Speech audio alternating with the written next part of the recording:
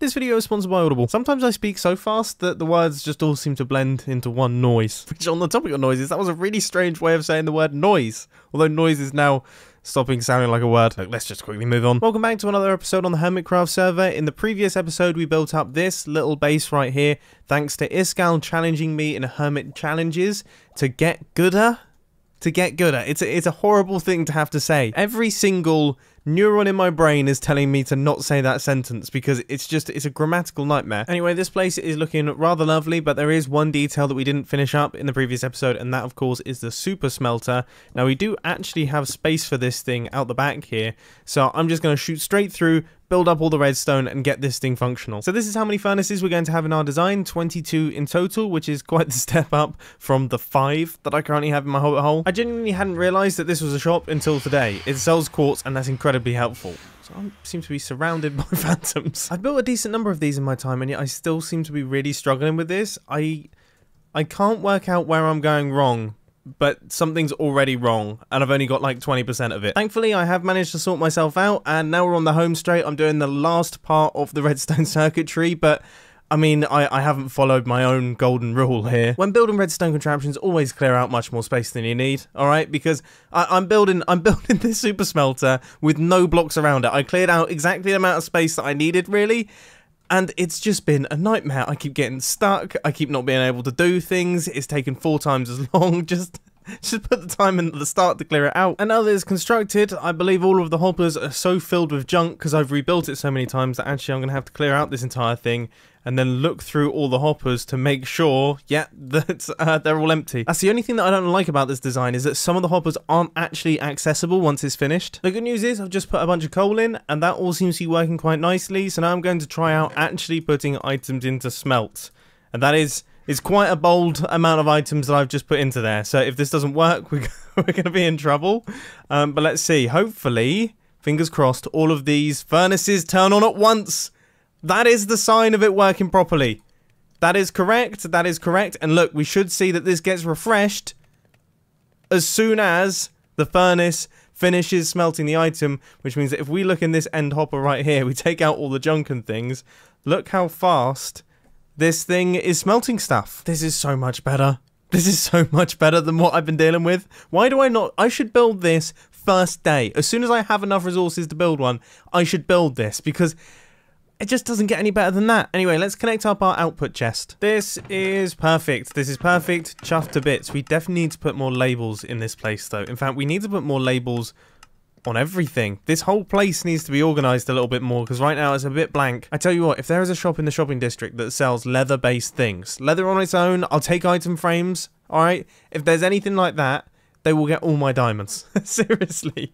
Because it's, it's the one thing that I just never have. That and ink sacs. Ink sacs is another one. Now, because I didn't fancy massacring the only remaining cows on the Hermitcraft server, I went through and just placed in a bunch of signs. So now this place is fully sorted and I know where everything should end up. Looks good, looks good. That's my junk wall, and then I have everything else over here. Hopefully, hopefully I can be really organized and really smart, and actually stick to this as opposed to just completely chucking stuff everywhere. Anyway, with the base all finished, it is now time to move on to the next and most important project of today's video. This is an idea that's been with me for ages. I wanted to do this since before Hermitcraft Season 7, but just the timing didn't seem quite right, and that is the concept of the button. For anyone who was on Reddit in, God, I don't even know when it was, April of 2015, apparently, you'll probably remember it. And if you weren't there, then I will explain it all in a second. First, I've got to design all the redstone so that I actually know what I'm building on the Hermitcraft server. It's it's it's going to be a massive challenge. This is this is actually going to be quite difficult. And while I go through that mental hardship, uh, it's time for a message from our sponsor. I know this sounds crazy, but I would say that the Hermitcraft series is powered by Audible because every single Hermitcraft episode has an audiobook behind it. This is me listening to Audible while mining sand. This is me listening to Audible in the Minecraft version of my studio. And this is me listening to Audible in the real life version of my studio. Listening to Audible while trying to think of ideas, while training jiu-jitsu with Kubo, and Well, you don't need to see that. So you get the picture. The audiobook that I'm currently listening to is So You've Been Publicly Shamed by Jon Ronson. It's narrated by him as well, and it's all about people whose lives have been ruined by stupid jokes that they've told on the internet. It's it's really, really interesting. But of course, there's many thousands of audiobooks on Audible, so I thought I'd pick out a few for my hermit friends. BWO got Doctor Sleep. Scar got How to Start a Landscaping Business Right Now with No Startup Money. Iskall got The Minecraft Guide for Beginners. I feel like he could use that. Let me know down in the comment section your audiobook suggestions for other members of the Hermitcraft server, but anyway, if you do want to sign up to Audible, head over to audible.com forward slash mumbo or text mumbo to 500 500.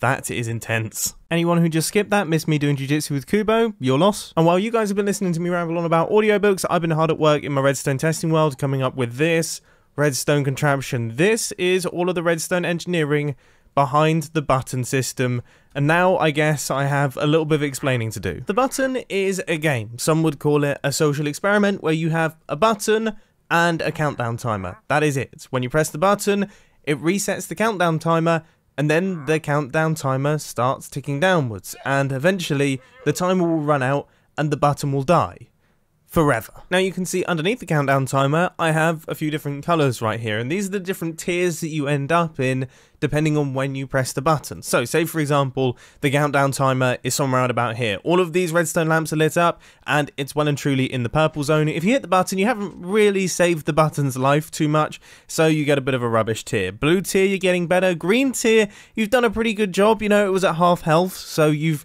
you've replenished it. But when you start getting into these tiers, and especially this tier, then, well, you really are something special, okay? Because you're essentially the one who has saved the button's life. It was on its last legs, okay? On its last legs, you have you've brought it back from the brink, and that means that you get a special red level. Do you get anything valuable for being a red level? No. But if I hit the button here, obviously you'll see that the levels, the redstone lamps, will start switching back on, and also I will get myself a red piece of concrete from this dropper right here, and this entitles me to a red belt, which looks a little bit like this. And the important thing about this belt is that obviously now all of the hermits can see that I am a top tier absolute god of the server and everyone should bow down to me. Now it's important to note that you don't just get a belt when you hit the button in the red tier, you get a belt whenever you hit the button. Okay, so say for example, it's in the purple zone. If you hit the button when it's in the purple zone, you're going to get yourself a purple piece of concrete and you're going to have to wear your purple belt. And it's going to be really embarrassing Everyone's going to laugh at you on the server. Nobody wants a purple belt, but you're going to have to keep that purple belt on until you save the button again when it's in a slightly higher danger zone. So although there's no specific reward for saving the button when it's in its highest tier, there's definitely a social hierarchy here. You know, this is embarrassing, still pretty embarrassing. Okay, you're getting better, alright? You're not too not too bad, you're pretty cool, very cool, insane god of the server. I hope that makes sense. Now, before I return onto the server, I'm going to have to remove my red belt because if anyone is caught faking a belt, I am going to be angry. My chest feels incredibly bare right now. I need to get another belt back on it quickly. Anyway, in terms of where I'm actually going to build this thing, uh, it's actually going to be constructed in the nether. This seems like the perfect place to construct something like this because obviously there's going to be plenty of people walking past it and the entire system was designed to fit within a 16 by 16 area so that means it should, it should all slot within this chunk right here that is right opposite the shopping district. The reason I haven't constructed it in the spawn chunks is because I don't want this thing to die just because there's no one on the server. That seems rough. Anyway, of course, this system requires a whole ton of redstone resources. So not only am I going to need all of the bits in my redstone shulker box, but I'm also probably going to need yeah, I'm definitely going to need a little bit more than that, aren't I? I guess we'll kind of cross that bridge when it comes to it. I'll pick up resources as I go along. But anyway, first things first, need to build up the system that is going to allow the reset of the items inside this thing and that involves a whole bunch of comparator pulse extenders and various bits and pieces like that. So if I hit this button, that is good. Okay, that redstone torch should stay off for a decent length of time. That will allow all of our counter to actually refill. Even if you've saved it right at the end, it then needs to refill everything that was stored up in the system. Essentially, that redstone torch allows the counter to go back up to the top. Goodness me, it really does stay on for a long time though, doesn't it? It almost feels like something's gone wrong, but it hasn't. I've done all the redstone correct. Yeah, there we go. A big thank you to Mr. xBCrafted for adding redstone lamps into his redstone shop. How much are they? One diamond for 16? That's not even a bad deal. I'm happy with that. And I think I'm going to be going there a lot today because I've just run out of redstone repeaters and I'm on my way out of redstone comparators right now, but things are going well. I've got the actual counting system all in place, and now I'm building up the red coder so that the machine knows what level this counter is currently at. I do understand that for those of you who have no idea about Redstone. Uh, all of this sounds completely mythical, but trust me, it's it's all good. Xisuma's popped by and he's he's checking out what I'm doing. He looks, uh, yeah, I was gonna say he looks a little bit confused.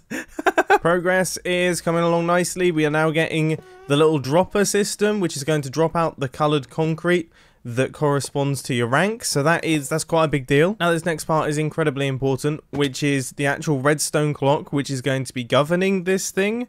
So this is what's going to be holding the time, and this is what's going to let the system know how quickly to discharge the timer. Now I'm hoping I can absolutely nail this first time, and this timer doesn't require any adjustment once the system is built, but obviously if I actually construct it and it stays purple forever, or is constantly almost dying, then I might have to make some slight, slight adjustments to the timings. I think I've just placed in the final block without really realising it. I'm looking around. I don't think there's anything else that I need to do. Redstone clocks, got the ratchet system. I've got all of the dropper systems, the red coder. I have the hopper cycle. Got the pulse extenders down. I think this thing's done. out of nowhere, it's now finished. Well, that was surprisingly stress-free. I think we can all agree. So let's now actually start filling in all of the items. So my item of choice is going to be iron shovels. That's what's going to be fueling this entire thing. The only other item that needs to make its way into there is all of the different colors of concrete going into the droppers back there. But I think I'll do that in a second. First, I actually want to make this thing look pretty because this is is a bit of a monstrosity. I'm a little bit embarrassed of it. Uh, people are going to be walking past and just being like, what is this disgusting mess? So I guess we should probably make it look a little bit cooler. And I do have quite a nice idea of how I'm going to do that. It just requires a lot of grey concrete. I've received, I've received, I've received another move. Uh, I think, I think we all know that this is going to end up in a tie, isn't it? Because I'm going to put mine here. And then if he puts his there, which he's definitely going to do, yeah, we're, we're going to tie. This is the worst game of and Crosses ever. We need to come up with a new game to send back and forth. Let me know down in the comment section your suggestions. Oh dear, I've just realised I came all the way over here to my, my dye farm, and then I remembered that my dye farm's actually been replaced by this guy. He is handsome though. Oh dear. Oh no. Oh no, I kind of needed that. I've sent some frantic messages to Xisuma Void and he is now restocking his store. Very much appreciate that. It already looks quite ominous. I've done the first layer and I've wrapped around the redstone lamps and already it looks quite ominous, which is kind of what I'm going for because this is meant to be a, a sort of strange system. We've never really had anything like this on the Hermitcraft server before. So it should look like something from a different planet. And it definitely feels like that. I think the red sky is also helping quite a bit. Yes. yes. oh, yes. I'm so glad. I'm so glad that this idea has worked out in terms of how it looks. I can't wait to get all the different colours in. First, we need to get the base build finished though, because this is like a facade. It's like one of those Hollywood houses. You know, it's just it's just the front. There's nothing at the back. This is definitely making things better. This is definitely making things better. Almost, it's a little bit churchy in a way. And that's going to get even worse when I start adding in colours too. Finally, my gravel supplies are completely out. So I've had to pop over to Green's store and his gravel supplies are also completely out. So this is as much as I've got. Thankfully I was able to find a few stacks lying around in these chests over here. So now the actual build itself is all completed and I managed to gather up all of the dice so we can put all the colours in and that will be that will be the full button build all finished. Now, one thing that I have realized as I've just stepped back is that this thing is not spawn proof. So we could we could run into some issues with some ghasts and things. I guess I should go and grab some carpet and place it on top of all the surfaces and things. But this is the build itself. And it looks really, really cool. Once you see it as a Cyclops, okay, you then can't unsee it as being a Cyclops. That's the one thing that I've found with it. but outside of that, uh, it's a it's a wicked looking build. This is seriously seriously cool. looks totally from a different planet, which is exactly what I was planning. It definitely looks like something that other players will be curious about. I look forward to chatting to the other players to explain to them how this whole thing works. And I look forward to seeing how long this thing can survive for because, to be honest with you, I genuinely have no idea. I like to think that it will survive like a good couple of weeks. That's kind of that's the goal. But who knows? It could die. It could die within a couple days. So what I'm going to do to try and prevent this is I'm going to do a quick experimental phase. This is going to last for just a couple days and I'm going to see, make a rough gauge of how long the timer should be, make my adjustments and everything like that. Then it's going to be open to the public, open to the members of the Hermitcraft server, most likely this weekend. And this message goes specifically out to Grian, okay? I know how tempting these signs are for you, buddy, alright? This, these signs are like kryptonite to Grian. I know he's going to walk straight past them and think all he wants to do, every fibre in his being, is going to want to press that button, okay? Please don't because it will totally ruin my experiment and I'll be very, very sad and I won't continue my game of noughts and crosses. Just as a quick bit of behind the scenes action for the YouTube creation process, uh, I want to get a thumbnail of this build and that pigman was there, but now he's despawned. There's just this little dude in the corner. Just, please, just get out the frame. So I can get a nice clean, clean thumbnail. Come on, dude. Just do it for me. Here we see a zombie Cleo correctly following the rules of the button game. She is a good hermit. Can you tell that I've played a lot of Minecraft today? I'm going slightly, slightly crazy. Which means I think it's the perfect time for some hermit challenges, don't you? Let's meet up with Iskall in the hermit challenges area. Dude, this looks ridiculous. Where where are you though? I'm up in the tree, oh. obviously. Oh, of course. I genuinely couldn't see you. This Oh, looks funny. this looks insane, dude. I mean, when I said improve the hermit challenges area, I meant like just clear out some of the bushes, maybe like do some lawn mowing a little bit, like improve the the fences around the edges just a tiny bit. Not this. I'm glad you like it because I have been, I've been seriously, seriously stressing out whether or not you will like it. Are you joking? How could I not like this? Look, my face. I mean, it is my old face, okay, but I can't I can't blame you too much there. Oh yeah, My- you're not Bumbo Baggins anymore. no, that unfortunately was part Thank of. goodness. What do you mean? Hang on, you're the second Well, I- I person that feel said that. I've- I feel like I should. I feel like I, now is the time to tell you that I never did like that shirt you were wearing. It looked like a monster's face. Oh my goodness! Well, so so I go up to Grian, right, and I tell him I'm no longer a hobbit, and he just informs me actually he hasn't been a hobbit for ages. So I broke that news to him, thinking he was going to be upset that he was the only hobbit, and it turns out I had just been the only hobbit the whole time. And then Yep. and then you tell me that you didn't even like Bumbo Baggins anyway. I mean, I feel like I've really I've really You- missed the mark. you, you, you've upped your whole beingness of hobbiness. It's awful. I feel terrible. Well, this looks absolutely amazing, dude. I love the counter as well. Is that is that like uh what is that? Is that the Yeah, so- hermit so, challenginess? okay. What's what's going on here? Yes. So whenever we complete the challenge, you Yep. know how we used to ring the bell. Yep. Well, now I've automated that with a button. So now when we complete a challenge, so first of all, are Yep. you do you feel like I've completed my challenge? I improving one the hundred area? percent. I mean, yeah, you couldn't have done better. I'm actually I'm smiling from ear to ear. I can't believe I can't believe how far you took this challenge. this is fantastic. Well, This is thank really, goodness really for cool. that. Thank goodness for that, because I have been nervous. Okay, so I complete my challenge, so I get to press the button. Check this Yep. out. Yep. Press it. Boom. Oh, nice. So actually, it counts. It counts how many challenges have been completed. Then, so I mean, Yes. I, I don't know if you know. Obviously, with me not being Bumbo Baggins anymore, I've actually moved out of my my Hobbit hole, and I've built what is uh, actually a painted to design by you, which is a base in between bases, or a base between bases. An IBBB. Yes, an In IBBB. between bases base. yeah, that's exactly it. So I've I've I would say that counts as getting gooder. I would. That's wouldn't you? that's not just getting gooder. That's getting omega. So you're saying I haven't completed the challenge then? You haven't completed. No, I'm, I'm just kidding. That is a good. That is a great completion. Fantastic. Boom. And it's straight up on the board. So it's straight up on the board, and the idea is whenever we have, co- it's 27 challenges. It's going to count. right. Okay. Whenever we have completed 27 challenges, that will be maxed out. And at that time, hermit challenges, initiation. Man, you are starting to understand how this whole thing works. I figured you'd like, uh, you would appreciate the Yep. randomness of having 15 lamps Yep.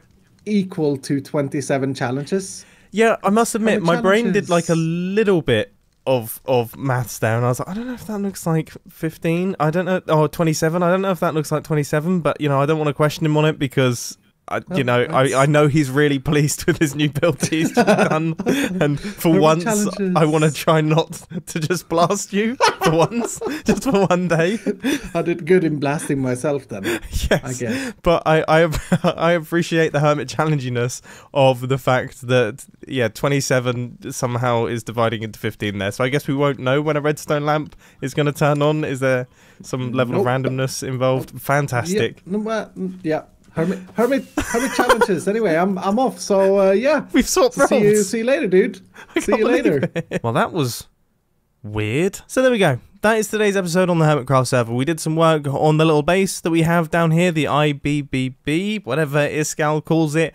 And also, we did some work on the button game, which definitely, I can't wait to get that started. That's going to be so much fun. I can't wait to see how long it survives. I can't wait to see who falls into what rank. And actually, I was talking to Iskall about the belt system, and he came up with a ridiculously cool idea. He wants to be able to customize his belt. He wants to be able to wear headbands and things. And I just want to say, I fully, fully endorse that. If Hermits want to customize their belts or wear their belts on their foreheads, they totally can. And also, it got me thinking if any artists are watching this video right now and you think you can do a much better job at designing belts than me, which is definitely likely. Okay, please do shoot over your suggestions via email or via Twitter. I'd love to see your work. Anyway, I hope you enjoyed the video and I'll catch you in the next one. See ya. That was a ton of fun. I've seriously enjoyed that. This might be one of my favorite Hermitcraft episodes because it married building, some silliness, a little bit of functional stuff. We're working on the base. A little bit of redstone action, obviously a lot of redstone action. In fact, I had to work really hard on designing up that redstone creation so that it all worked properly. Some play testing. Oh, it doesn't get better for me.